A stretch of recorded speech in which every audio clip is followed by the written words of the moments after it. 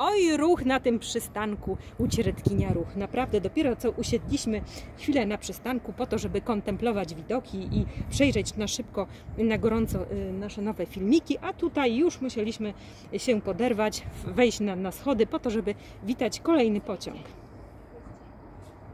Nie widzę jeszcze, co to jest dokładnie, ale zapewne szef, który tutaj dzielnie dzierży telefon, y, zaraz, zaraz wytłumaczy, cóż to wjechało szefie na peron. Teraz rzeczywiście stonka. Tak, moi drodzy Państwo, witamy tutaj Stonka. Od razu miałam takie przeczucie, że nie jest to żaden, e, żaden e, pociąg e, osobowy, ponieważ po zapoznaniu się z rozkładem jazdy nic takiego się nie zapowiadało.